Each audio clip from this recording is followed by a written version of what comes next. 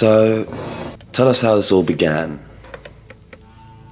Well, it, uh, it started with a sergeant sharing a vision for a special unit.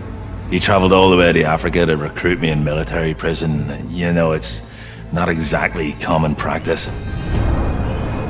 Uh, it didn't take long until things went sideways and all hell broke loose.